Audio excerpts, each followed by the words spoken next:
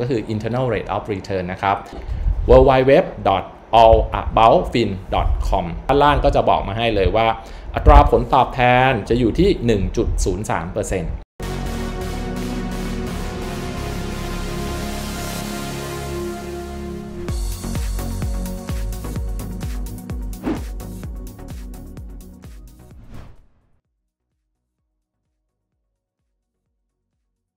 สวัสดีครับ กลับมาพบกับผมธนาวัฒน์สิริวัฒนกุลอีกแล้วนะครับ กับรายการไทย PFA Talk ครับ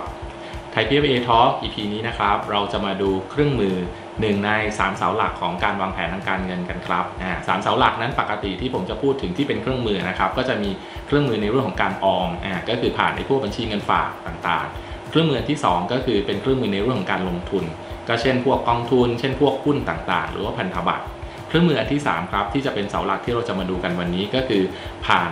เครื่องมือที่เราเอาไปใช้ในการปกป้องความมั่งคั่งครับ ก็คือกรมธรรม์ประกันชีวิตหลายๆ คนอาจจะสงสัยใช่ไหมครับว่าเวลาเราไปออมเงินผ่านกรมธรรม์ประกันชีวิตแบบสะสมทรัพย์ หรือว่าแบบออมทรัพย์เขามีวิธีการคำนวณอัตราผลตอบแทนกันยังไง อัตราผลตอบแทนที่จะได้รับจากการที่เราจ่ายเบี้ยประกันเข้าไป แล้วได้รับเงินคืนได้รับเงินปันผลต่างๆ จากกรมธรรม์ประกันชีวิตแบบต่างๆเนี่ยครับเขามีชื่อเรียกโดยเฉพาะเจาะจงกันเอาไว้เรียกว่าเป็นค่า IRR หรือว่าตัวเต็มๆก็คือ internal rate of return นะครับ แปลก็คืออัตราผลตอบแทนภายใน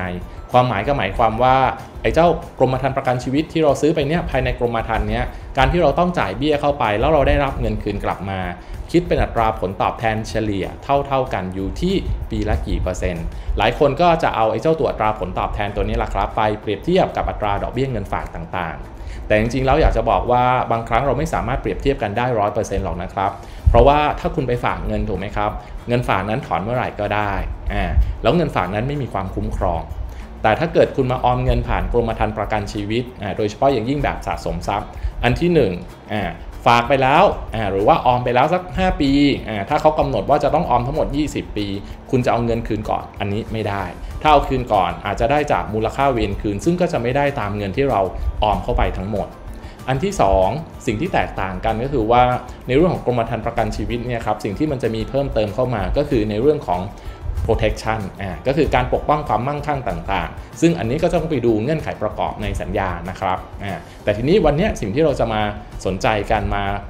สโคปกันมาโฟกัสกันก็จะเป็นในเรื่องของการคำนวณไอ้เจ้าตัว IRR เนี่ยแหละสำหรับคนที่อยากจะรู้จริง ๆ ว่าเขามีวิธีการคำนวณกันยังไง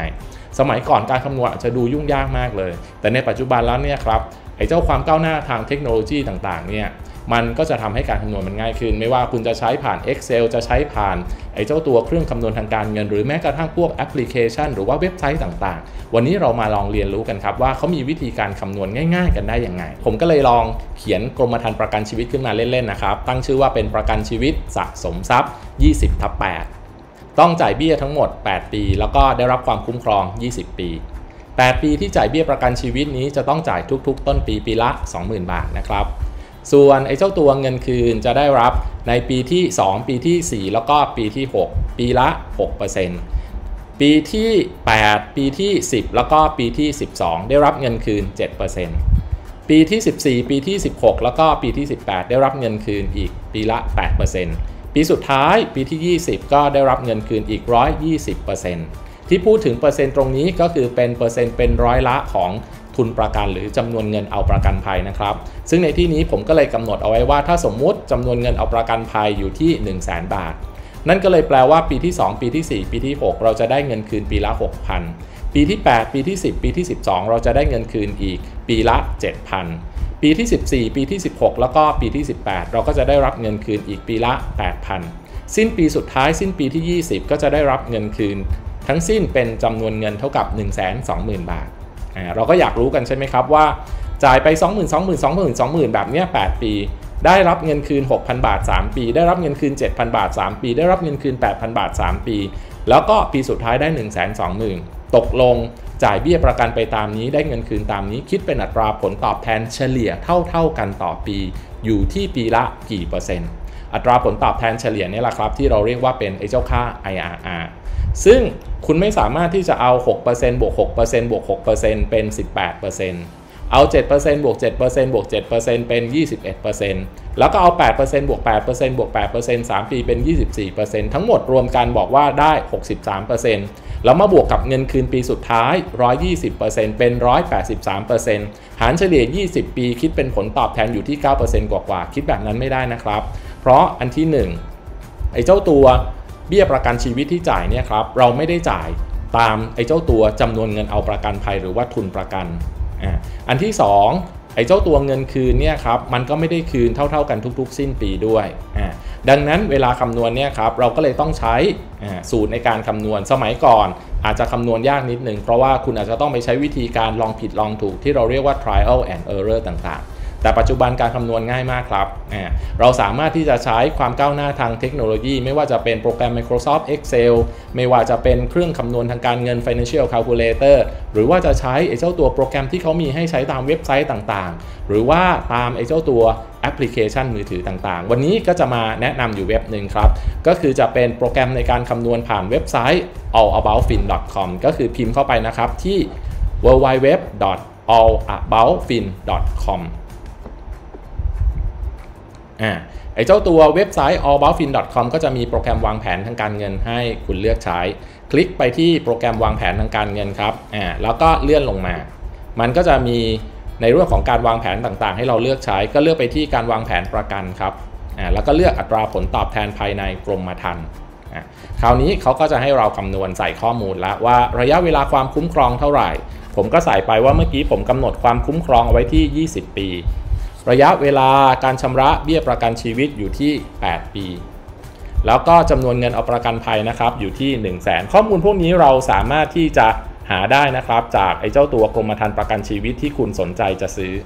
เสร็จแล้วเราก็กดต่อไปอ่าคราวนี้ก็เลื่อนลงมาใส่ข้อมูลด้านล่างครับ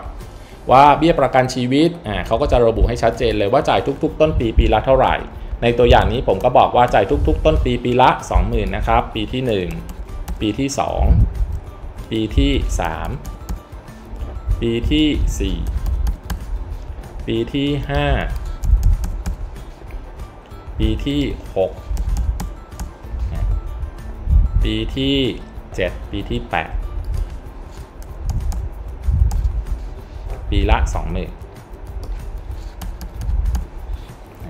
เสร็จแล้วคราวนี้เราก็เลื่อนมาใส่ข้อมูลไอ้เจ้าตัว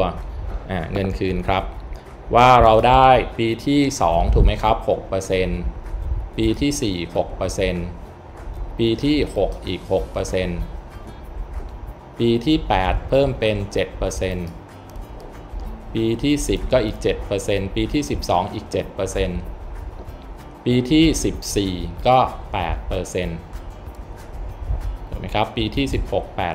8%ปีที่ 18 อีก 8% ปีสุดท้ายได้ 120%กดคำนวณครับ แล้วเราก็มาตรวจสอบข้อมูลนิดนึงว่าข้อมูลที่เราใส่มันถูกต้องไหมถูกไหมครับอ่าเขาก็จะใส่เอาไว้ให้ตรงนี้แหละครับว่า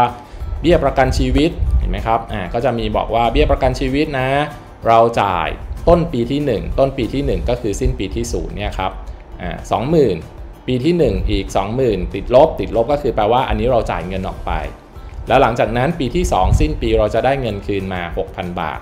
ปีที่ 3 เราก็จ่ายเบี้ยไปอีก 20,000 ปีที่ 4 เราจ่ายเบี้ยไป 20,000อ่าต้นปีที่ 5 ถูกไหมครับ สิ้นปีที่ 4 แต่สิ้นปีที่ 4 นั้นเราก็จะได้รับไอ้เจ้าตัวเงินคืนอีก 6,000เนี่ยครับข้างล่างนี้เขาก็จะใส่ไอ้เจ้าตัวไทม์ไลน์ที่จะบอกถึงเบี้ยประกันชีวิตกับผลประโยชน์เงินคืนให้เราตรวจสอบความถูกต้อง เราก็ตรวจสอบความถูกต้องว่าไอ้ข้อมูลที่เราใส่เข้าไปถูกต้องแล้วนะ เสร็จแล้วเลื่อนลงมาด้านล่างครับเขาก็จะมีกระแสเงินสดสุทธิให้ว่า ปีแรกคุณจ่ายเบี้ยไป 20,000 ที่ต้นปีก็คือสิ้นปีที่ 0 ปีที่ 2 ที่ต้นปีก็คือสิ้นปีที่ 1 คุณจ่ายเบี้ยไปอีก 20,000 แต่ว่าต้นปีที่3เนี่ยเราจะต้องจ่ายเบี้ย 20,000 แต่ในขณะที่สิ้นปีที่ 2 เราจะได้รับเงินคืน 6,000 บาท เพราะฉะนั้นกระแสเงินสดสุทธิสิ้นปีที่ 2 ก็เลยเหลืออยู่แค่ลบ14,000อ่าเดี๋ยวเราก็ตรวจสอบความถูกต้องของไอ้เจ้าตัว ไทม์ไลน์ตัวนี้แหละครับว่าถูกต้องไหมอ่าถ้าถูกต้องแล้วเราเข้าใจถูกแล้ว ก็มาดูคำตอบด้านล่างเลยครับ ด้านล่างก็จะบอกมาให้เลยว่า อัตราผลตอบแทนภายในกรมธรรม์ประกันชีวิตดังกล่าวจะอยู่ที่ 1.03%นะ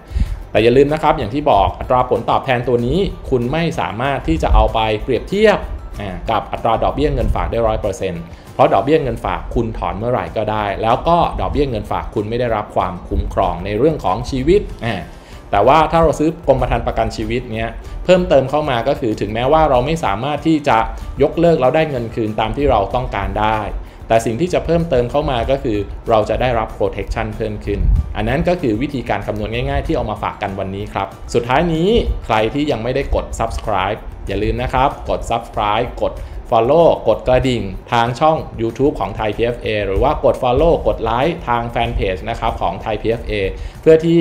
คุณจะได้เป็นคนแรกๆครับ ที่ได้รับสาระความรู้ดีๆ แบบนี้ครับ